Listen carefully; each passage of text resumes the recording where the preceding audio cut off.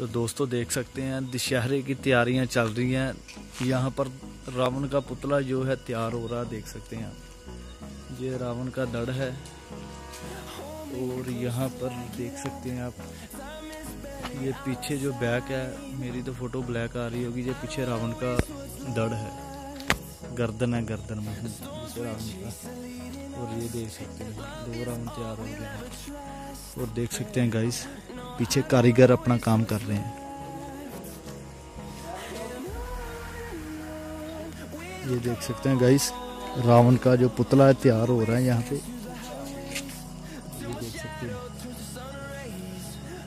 और यहाँ पे एक रावण का पुतला है, जो दड़ है, उसका जो काम है कंप्लीट हो चुका है गाइस अभी तस्वीर में तो आ नहीं रहा होगा। अभी कारीगर को दिखाता है, यहाँ पे काम चल रहा है। तो गाइज़ ये देख सकते हैं कारीगर यहाँ पे काम कर रहे हैं, जो रावण का पुतला बना रहे हैं। मैं भी आपको तस्वीर दिखाता हूँ, ये देख सकते हैं।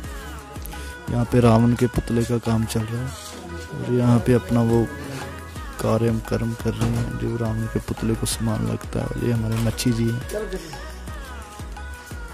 देख सकते हैं। कुछ ही दिनों बाद पंद्रह तरीक को दशहरा है और देख सकते हैं यहाँ पे जो रावण का पुतला वो तैयार हो रहा है। रामलीला के क्लब के मेंबर यूट्यूब और ये हमारा लव भाई है जो हमारे साथ। यार बहुत अच्छा और प्रोग्राम ये हमारे साथ। हमारे गाँव में बहुत अच्छा प्रोग्राम हमारे साथ ही रामलीला में कम कर भाई काम करते हैं। ये भाई हर साल आते हैं जहाँ पर। ये सारी सोल्यूशन बताते हैं आपको कि दशहरा कैसे बनाया जाता है जहाँ पर कैसे कारीगर आए हैं। सभी डिटेल बताएँगे आपको नवी भाई साहब। तो गाइस देख सकते हैं लव भाई ने आपको बताया कैसे दशहरे की तैयारी हो रही है और पुतले की तैयारी चल रही है रावण के। और यहाँ पे कारीगर है जो काम कर रहे हैं अपना। गाइस वीडियो देख सकते हैं आप तस्वीर में देख सकते हैं।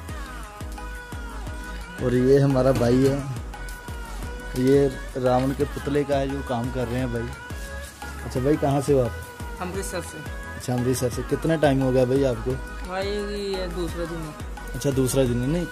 जो ये काम करते ये कितना टाइम तो काफ़ी पुराना है। अच्छा काफ़ी पुराना है भाई का काम। तो ठीक है गाइस वीडियो को लाइक करें शेयर करें और कमेंट करें और वीडियो को ज़्यादा से ज़्यादा बंद होगी वीडियो को शेयर